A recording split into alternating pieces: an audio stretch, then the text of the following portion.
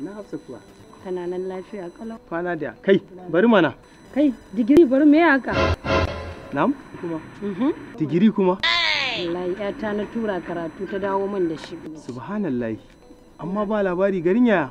Wallahi kuma zancen da nake maka yanzu tana nan a gida a zaune karatun bai yi ba kuma ga digiri a ba zai yiwu gabana. ba ai ba zai yi ba ai.